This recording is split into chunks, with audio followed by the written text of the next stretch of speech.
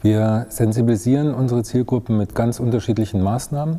Zum einen in den Lehrveranstaltungen, die curricular in den Studiengängen verankert sind, ähm, bekommen sie ähm, ja, aus verschiedenen Sichtweisen unternehmerisches Denken und Handeln vermittelt.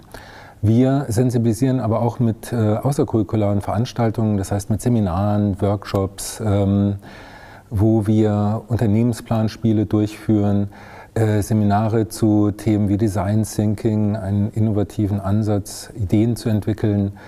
Ähm, wir rufen oder wir laden aber auch ähm, bekannte Gründer und Gründerinnen zu uns ein, wie den Flixbus-Gründer, die dann erzählen aus ihrer Erfahrung, wie war das denn, so ein Unternehmen zu gründen und aufzubauen.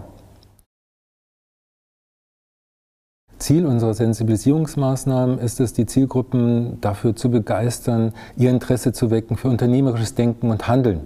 Es geht uns nicht primär darum, dass unsere Zielgruppen ein Unternehmen gründen, sondern auch darum, dass sie auch für etablierte Unternehmen unternehmerisch denken und handeln können.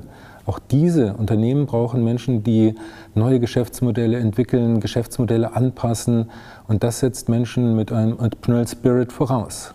Nicht nur der Gründer braucht den oder die Gründerin, sondern eben auch etablierte, kleine, mittelständische und auch große Unternehmen dass man dazu bereit ist, Risiken einzugehen, neue innovative Dinge auszuprobieren, bereit ist, klassische Wege ähm, zu verlassen, Geschäftsmodelle neu aufzustellen. Also nicht einfach, dass ich den 486. Dönerladen in einer Stadt eröffne, sondern dass ich mir überlege, hm, was kann ich denn anders machen an diesem Geschäftsmodell? Äh, welche anderen Produkte kann ich anbieten oder Dienstleistungen? Was kann ich einfach anders und besser machen als die bisherigen Lösungen?